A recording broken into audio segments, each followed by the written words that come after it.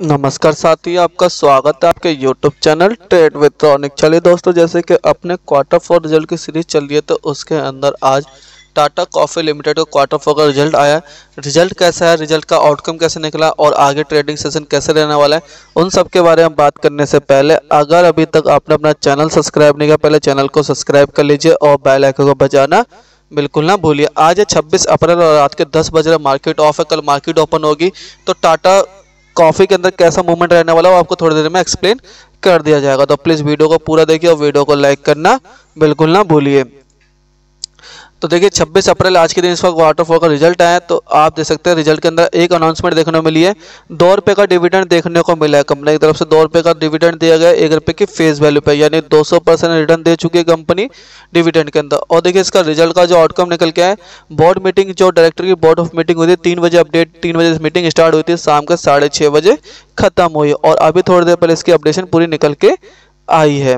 तो अब रिज़ल्ट कैसा रहा? और कैसे अर्निंग्स रही वो थोड़ी देर में आपको एक्सप्लेन करता हूँ। तो मैं आपको डिस्क्लेमर देना चाहता हूँ कि मैं ओवरव्यू करता हूँ डीप एनालाइज नहीं करता हूँ। यहाँ से आगे ट्रेडिंग सेशन कैसे रहने वाला है, या शेयर तेज़ी होगी गिरावट होगी, वो आपको थोड़ा बहुत एक्सप्लेन कर देता हूँ। और वहाँ से आप अपना कैपिटल को कैसे ग्रो कर सकते हैं, उसके थोड़ा बहुत टारगेट आपको दे देता हूँ मैं। तो अब इनकी अर्निंग्स देखते हैं किस किसमें है लैक्स में है या करोड़ में, वो समझते हैं, फिर उसके बाद ये देखिए इनकी अर्निंग्स लैक्स में है। तो इसका थोड़ा सा और सिंप्लीफाई करने के लिए हम चलिए, चलते हैं स्कैनर की साइड पर, वहाँ से थोड़ा सा इसका ओवरव्यू करते हैं। तो Tata coffee limited NSC BSC दोनों पर लिस्टेड है कंपनी तो आज की डेट में इसका मार्केट कैप है चार हज़ार एक सौ बानवे करोड़ रुपए का स्टॉक पी इसका है सत्ताईस पॉइंट एट का। स्टॉक आर ओ सी इसका है तेरह पॉइंट नाइन परसेंट का। बुक वैल्यू इसकी तिहत्तर पॉइंट तीन पैसे की है। आर ओ सी इसका रिटर्न ऑफ़ इक्विटी इसका ग्यारह परसेंट का डिविडेंड कंपनी ने अभी तक दिया zero point sixty seven percent का। फेस वैल्यू इसका एक रुपये का है। आप देखिए कंपनी के कैसा रहा क्वार्टर फोर रिज़ल्ट वो समझते हैं। तो देखिए मार्च 2022 इस क्वार्टर में इनकी सेल हुई है छः छप्पन करोड़ रुपए के। एक्सपेंस ऑपरेशन प्रॉफिट इनको आया है 111 करोड़ रुपए का। नेट प्रॉफिट की बात करें नेट प्रॉफिट है इकतालीस करोड़ रुपए का। अर्निंग पर शेयर देखेंगे तो ये हुआ टू पॉइंट अट्ठारह तो ये तेज, ये देखने को मिला हमारे को। Last year last quarter sale थी 626 करोड़, वो बढ़ के हुई है छः सौ छप्पन करोड़ रुपए की। ऑपरेशन प्रॉफिट हमारा 116 था, वो घट के हुआ है 111 हुआ है। नेट प्रॉफिट हमारा चौवालीस था, वो घट के इकतालीस हुआ है। अर्निंग पर शेयर हमारा टू पॉइंट सैंतीस था वो घट के टू पॉइंट अट्ठारह हुआ। आप एक चीज़ देखिए, सेल में तो बड़ा देखने को मिली हमें क्वार्टर क्वार्टर भाई, दो तीन परसेंट की बट वहीं दो तीन परसेंट का ऑपरेशन प्रॉफिट और नेट प्रॉफिट में इजाफा घटा देखने को मिली। अर्निंग पर शेयर के अंदर भी दो से तीन परसेंट की गिरावट देखने को मिली। अब लास्ट ईयर से कंपेरिजन लास्ट ईयर सेल थी पाँच सौ इक्यावन करोड़, वो बढ़ के हुई है छः करोड़। ऑपरेशन प्रॉफिट हमारा चौवन करोड़ था, वो घट, बढ़ के 111 करोड़ हुआ। नेट प्रॉफिट हमारा तिरालीस करोड़ था वो घट के इकतालीस करोड़ हुआ। अर्निंग पर शेयर हमारा टू था, वो घट के टू हुआ।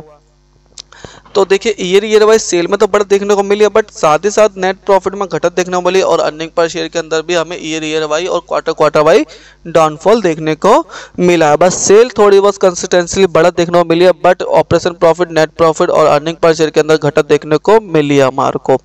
तो ये चीज़ एक थोड़ा सा देखिए रिज़ल्ट खराब है, उम्मीद से कम आया जिस तरह से उम्मीद लगाई जाती है, उस हिसाब से कम आया तो इस रिज़ल्ट को हम खराब बोलेंगे।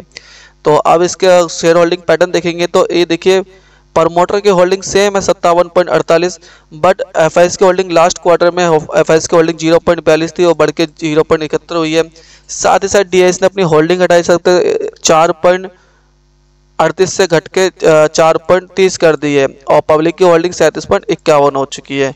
रिज़ल्ट का इम्पैक्ट रिज़ल्ट से आने से पहले शेयर के अंदर कैसे इम्पैक्ट था वो देखते चलिए। हम गूगल की साइट पर आ चुके हैं गूगल पर मैंने ओपन कर रखा है।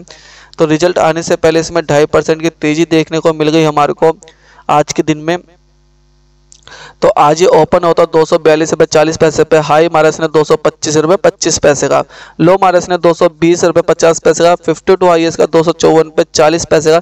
फिफ्टी लो है इसका एक सौ चौबीस रुपये, पचहत्तर पैसे का। पाँच दिन के अंदर इसने टू पॉइंट चौबीस परसेंट रिटर्न दिया। पॉजिटिव में वन मंथ के अंदर साढ़े चौदह परसेंट चल चुका है सिक्स मंथ के अंदर ये चार चार पॉइंट सत्ताईस परसेंट चढ़त दिखा चुका है अभी तक ईयर टू डेट के अंदर चौवालीस परसेंट। यानी कि आपको देख सकते हो वन मंथ के अंदर साढ़े चौदह, यानी मोटा मोटा साढ़े चौदह परसेंट की तेज़ी दिखा चुका है वन मंथ के अंदर अंदर। अब रिज़ल्ट तो मिल रिज़ल्ट तो खराब है, उम्मीद से ज़्यादा खराब है, ज़्यादा खराब नहीं बट खराब है। तो आप चार्ट पे देखते हैं चार्ट पे कैसा मूवमेंट देखने को मिला है। देखिए चार्ट पे एक जोन में फंसा हुआ शेयर दो सौ सत्ताइस के ऊपर जाने को बहुत ही एक सपो एक हडल बना हुआ दो सौ सत्ताईस के ऊपर। एक देखिए, एक दो के एक हडल बना हुआ दो पे एक हडल बना हुआ है। ये हडल बाबा ब्रेक नहीं कर पा रहा, दो सौ तीस के ऊपर ये जल्दी से नहीं जा पा रहा है। अब मुझे लगता है कि जब तक ये दो सौ तेरह के लेवल पर नहीं आया तो इसमें फ्रेश बैंक बिल्कुल नहीं करना। अगर दो सौ तेरह के लेवल को होल्ड कर जाता तो यहाँ से फिर से रिबाउंड करता तो इसमें फिर से तेज़ी देखने को मिलेगी। बट मुझे लगता है अगर 213 का लेवल होल्ड नहीं कर पाए तो इसके अंदर आपको 204 तक के लेवल भी देखने को मिल सकते हैं। बाकी ये 213 पे एक अच्छी खासी सपोर्ट है। उस लेवल को ब्रेक नहीं करता, फिर से रिबाउंड करेगा। अगर ये गिरता है तो इसको मौका है तो आप 230 के आसपास जाता है। 200 200 के आसपास जाता है तो इसमें डेफिनेटली बाई करिए। रिज़ल्ट का इम्पैक्ट एक दो दिन में खत्म हो रिज़ल्ट खराब है, उम्मीद से ज़्यादा खराब है। बट तेज़ी ज़रूर होगी शेयर के अंदर बट अभी आपको बाय नहीं करना, ये अभी 213 के लेवल है 214 तक भी गिरने की एकदम कम दिखा रहा है। यहाँ से गिरावट होगी, कल के दिन इसमें गिरावट देखने को मिलेगी आपको। तो आपको क्या करना है अगर आपके पास है तो होल्ड के फ्रेश बैंक बिल्कुल नहीं करना।